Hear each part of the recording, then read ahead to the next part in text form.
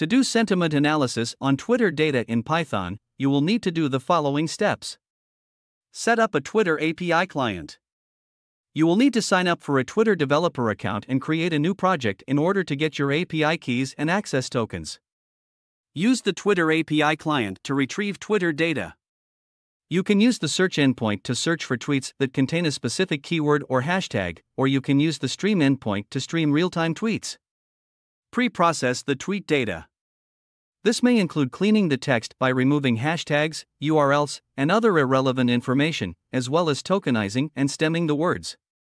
Use a pre trained sentiment analysis model or train your own on a dataset. There are many pre trained models available in libraries like NLTK and TextBlob, or you can use a dataset like Sentiment 140 to train your own model. Use the sentiment analysis model to classify the sentiment of each tweet as positive, negative, or neutral visualize, and analyze the results.